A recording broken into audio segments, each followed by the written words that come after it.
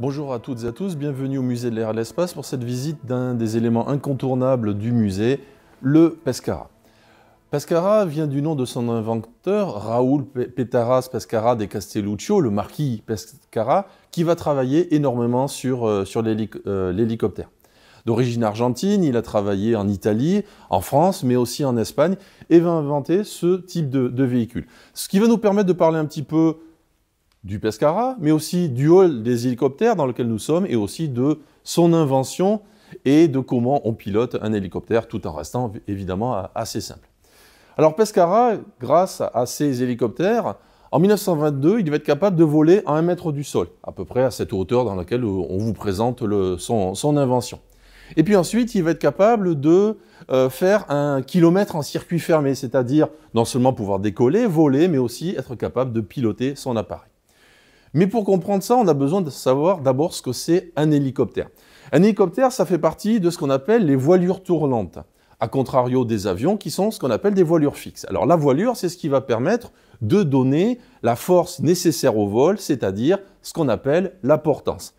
Aile fixe pour un avion, aile mobile, même si on n'appelle pas ça des ailes, dans, dans le cadre d'un hélicoptère. Alors pour comprendre ça, on a besoin d'un matériel extrêmement sophistiqué, tout simplement une feuille de papier et un élément qui va pouvoir mettre de, l'air, faire de l'air en mouvement.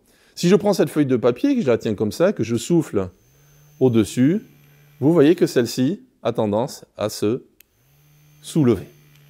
Alors là, je fais souffler l'air au-dessus de la feuille de papier. Dans un appareil, avion ou hélicoptère, c'est la feuille de papier, enfin c'est l'aile qui se déplace, je déplace la feuille de papier, et celle-ci va se, soulever. Cette force est donc ce qu'on appelle la portance. Alors dans un avion, une voilure fixe, c'est tout l'appareil qui va se déplacer. Dans le cadre d'un hélicoptère, et c'est le cas aussi du Pescara, eh bien c'est les voilures qui vont tourner au-dessus de l'appareil, qui vont tourner au-dessus du fuselage principal de l'appareil, et c'est ça qu'on appelle l'hélicoptère. Donc pour ça, on a besoin d'un moteur, et sur le Pescara, le moteur se situe ici à l'avant, c'est un moteur en étoile, qui va, par l'intermédiaire de cette transmission ici, le mouvement se fait d'abord dans ce sens-là, et ensuite il va faire monter, il va faire tourner le mât principal, sur lequel sont disposés les éléments qui vont permettre de faire la portance. Alors ça, c'est ce qu'on appelle le rotor. Et sur le rotor, vous avez des sortes d'ailes, quelque chose qui rappelle les ailes d'un avion, qu'on appelle les pales. Alors si vous regardez bien sur le Pescara, vous observerez deux fois deux groupes de plans d'ailes. Un groupe de deux, plans d'ailes en bas et un au-dessus. Alors pourquoi c'est un système comme ça, un système un peu différent de la plupart des hélicoptères qu'on a l'habitude de voir? Ben, C'est tout simplement parce que lorsque l'hélicoptère décolle et quitte le sol, la pale va tourner, les pales vont tourner dans un sens, eh bien l'hélicoptère, normalement, devrait être entraîné dans l'autre sens. C'est ce qu'on appelle le principe du couple. Si les pales tournent par exemple dans ce sens-là, l'hélicoptère va tourner dans l'autre.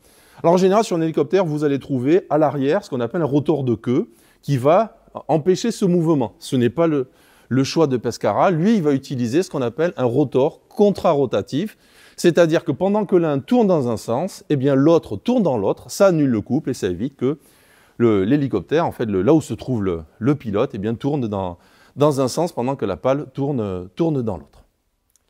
Alors ça, c'est un système, mais son invention, c'est pas tout à fait ça. Ce qui nous a véritablement légué, c'est pour le pilotage de son appareil. Le pilotage se fait par variation cyclique du pas des pales. Alors, ça a l'air compliqué comme ça. Les pales, donc c'est ce qui ressemble à des ailes qu'on trouve sur le rotor. Et pour comprendre ça, eh bien, on va prendre une aile. Alors dans ce cas-là, c'est une aile d'avion de modèle réduit, mais le principe est le même. Lorsque l'aile avance dans l'air, vous avez ici l'axe de, l'aile, elle peut être dans le même sens, précisément dans l'axe du mouvement de l'avion, mais on peut lui donner aussi un petit peu d'incidence, plus ou moins d'incidence. C'est-à-dire que l'aile, si j'exagère le mouvement, l'aile va voler comme ça.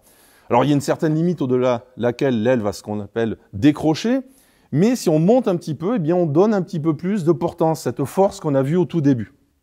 Eh bien l'idée de Pescara, c'est de faire bouger cette incidence. Alors, dans ce cas-là, on appelle changer le pas de la pale, et donc que cette incidence soit plus forte à un moment donné, du mouvement de la pale. Donc si on revient à nouveau sur le pas de la pale, eh bien, par exemple, si on veut que l'appareil tourne vers vous, donc il avance dans ce sens-là, c'est-à-dire vers sa droite, eh bien, il faut qu'il s'incline. Il faut qu'il s'incline vers là où vous êtes, vers la droite. Eh bien, lors du mouvement de la pale, on va s'arranger pour que lorsqu'elle est ici, elle ait un peu moins de portance et donc elle ait tendance à descendre, alors que lorsqu'elle est de l'autre côté, elle est plutôt tendance à monter. Et donc c'est pour ça qu'on parle de variation cyclique, parce que vous imaginez bien que la pale tourne. Alors là, je le fais très lentement, évidemment, elle tourne beaucoup plus vite que ça.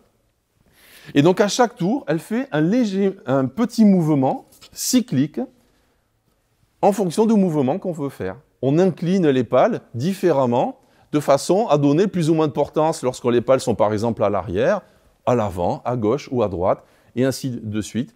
Et comme ça, on va pouvoir piloter l'avion. Et c'est ça l'invention de Pescara, la variation cyclique, le mouvement, euh, c'est à chaque tour qu'on retrouve le mouvement, du pas des pales, donc on va bouger l'angle en fait de la pale, de, la pale, des pales de, de l'hélicoptère. Alors pour ça, eh bien, il a un manche, un petit manche à balai avec un volant, et il va incliner le volant dans le sens dans lequel, dans la direction dans laquelle il veut aller.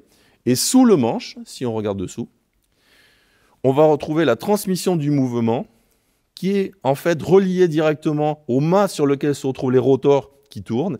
Et donc grâce à ces câbles, il va pouvoir légèrement faire varier le pas, l'incidence de la pale, et ainsi pouvoir euh, piloter son avion. Alors il y a une autre possibilité, c'est de changer cette incidence sur l'ensemble du mouvement. au, cours du mouvement, l'incidence est la même. Ça va permettre de, pouvoir faire monter ou descendre euh, l'hélicoptère. Alors lorsqu'on ne change que pour changer de direction, que ça, revient à chaque cycle de la pale, on appelle ça le pas cyclique. Et lorsque la variation est la même en permanence dans le mouvement, que l'hélicoptère monte ou descend, on appelle ça le pas collectif. Eh bien ça, on va le retrouver, certaines des inventions qu'on trouve sur le Pescara, on va les retrouver sur certains des hélicoptères qu'on a dans le hall. Et donc on va un petit peu se déplacer. Hop, on va faire se poser l'aile. Et vous avez ici, donc dans ce hall des hélicoptères, vous avez aussi des voilures tournantes, mais on va s'intéresser plutôt aux hélicoptères. Vous retrouvez sur cet hélicoptère dont nous sommes à l'arrière, le Breguet euh, de type 111, on trouve des rotors. Évidemment, il va falloir trouver des rotors. Mais ce sont des rotors contrarotatifs, comme sur l'hélicoptère de Pescara. En fait, à l'arrière, il n'y a pas ce qu'on appelle le rotor de queue. Alors, un rotor de queue, vous allez en voir un. Sur ce Sikorsky, il est juste au-dessus. Voilà, donc c'est ça qu'on appelle le rotor de queue qui va empêcher le mouvement de, dû au couple, hein, que quand il n'y a qu'une seule pale, hein, si on regarde, on part de l'arrière et puis on remonte petit à petit le long de l'hélicoptère, on va trouver le rotor principal et on voit que là, il n'y en a pas deux, un tournant dans un sens, l'autre tournant dans l'autre, donc la nécessité d'avoir un rotor de queue. Et pour essayer de mieux comprendre ça, ben, le musée a coloré, on va dire, un hélicoptère, une Alouette 2. Donc vous avez ici l'arrière de l'hélicoptère, on voit le, donc le rotor de queue, avec des couleurs jaunes et roses, eh bien ça va ramener vers les commandes de cet hélicoptère. Donc si on remonte un petit peu, on va trouver le rotor, la tête de rotor avec les couleurs liées en fait aux commandes qu'on retrouve ici sur l'hélicoptère. Et en fait, on va retrouver ce dont on a parlé. De couleur rose au centre, mais qui est répété de l'autre côté. C'est ce qu'on appelle le pas collectif. C'est-à-dire qu'on fait varier l'incidence de la pale euh, de la même façon sur tout le mouvement de la pale, donc l'hélicoptère a tendance à monter et à descendre uniformément. Et puis ici, le pas cyclique, donc cette invention du à Pescara, qui va permettre de contrôler la direction de l'avion, donc de pouvoir monter, descendre, euh, pardon, euh, avancer, reculer, tourner à gauche, tourner à droite, en faisant varier de façon cyclique le pas de la pale. Voilà cette petite visite très courte pour vous faire découvrir le monde des hélicoptères avec notamment le Pescara et l'Alouette 2 que vous avez ici qui vous permet de comprendre un petit peu comment on pilote un hélicoptère.